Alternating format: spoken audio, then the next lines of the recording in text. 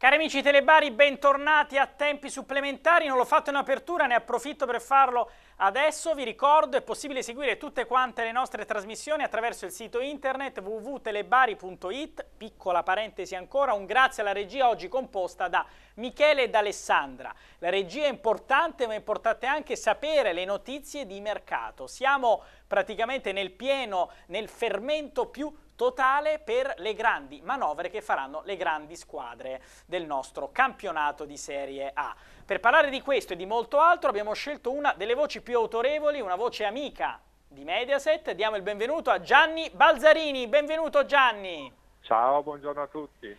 Gianni, è un, momento, sì. è un, momento, veramente delicato perché partiamo dalla Juventus, è la squadra che rischia di cambiare pelle nel momento in cui dovrebbe invece semplicemente trattenere tutti e acquisire qualche campione in più. Invece Radio Mercato ci dice che Morata e Quadrado sono un po' più lontani.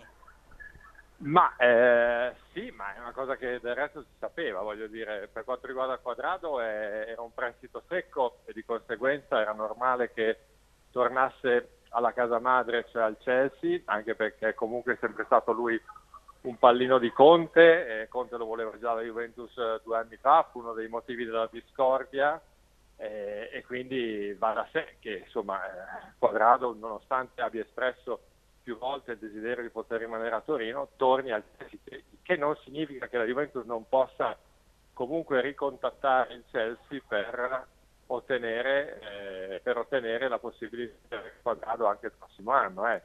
È ancora, tutto, è, ancora tutto, in forza, anche perché Gianni, mh, penso che sia una notizia che sai anche tu, Quadrado più che altro non è allettato dalla possibilità di tornare in Inghilterra.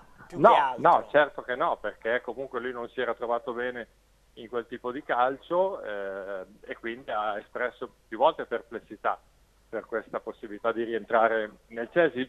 Va da sé anche il fatto che comunque se hai un allenatore che ti vuole, che ti stima come Antonio Conte, che magari fa di te un perno del suo gioco, allora è chiaro che tutte le prospettive cambiano e anche il giocatore quindi possa sentirsi molto più appagato dall'idea di poter tornare a Chelsea. Ci sono grandi manovre soprattutto per l'attacco fra tutte quante le grandi società di Serie A. Addirittura c'è una voce che è quella di Guain al Paris Saint-Germain. Di fatto il valzer degli attaccanti è aperto da Morata. Morata mh, mm, è praticamente certo, tornerà al Real, la Juve incasserà una discreta cifra. A tuo avviso quale sarà l'obiettivo della Juventus, quello di acquistare ad esempio un giocatore alla Lukaku, un po' per far contento Raiola, un po' per far contento Pogba e un po' per acquisire un giovane ragazzo di prospettiva, oppure si punterà al crack, ovvero al giocatore veramente forte e rodato, magari vicino ai 30 come Cavani, che è dell'87? Ma innanzitutto anche lì, vediamo un attimo di fare chiarezza sulla questione Morata, è vero che Real Madrid eserciterà una recompra, la recompra,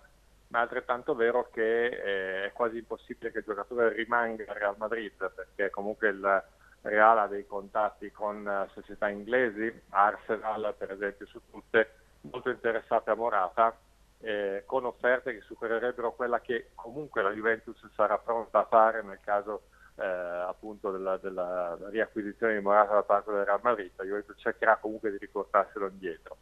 Eh, questo non significa che andrà a buon fine l'operazione della Juve, anzi sono abbastanza pessimista in questo senso. Questo è il primo punto. Eh, andasse via appunto Morata, ci fosse l'ufficialità della cessione di Morata, allora a questo punto credo che la Juve non si orienterà su un cosiddetto crack, perché il crack esiste già, Dybala. esiste già che è di Bala e quindi la Juve si orienterà su un, un giovane che possa accettare il fatto di non essere titolare. Anche quindi, Berardi potrebbe entrare in quest'ottica, quindi preso da attaccante? Sì, sì potrebbe, potrebbe, essere, potrebbe entrare in quest'ottica perché è un giocatore molto duttile, nel senso che può essere impiegato come esterno alto in un 4-3-3, può anche agire da trequartista volendo, e quindi un giocatore che ha molte eh, possibilità di trovare spazio all'interno di una, di una squadra come la Juventus, considerando che anche l'anno prossimo la Juve eh, diciamo, si, eh, si, impegnerà al massimo su tre competizioni, cioè campionato, Coppa Italia e Champions League. Gianni, andiamo un attimo in pubblicità e torniamo subito per continuare a parlare di mercato.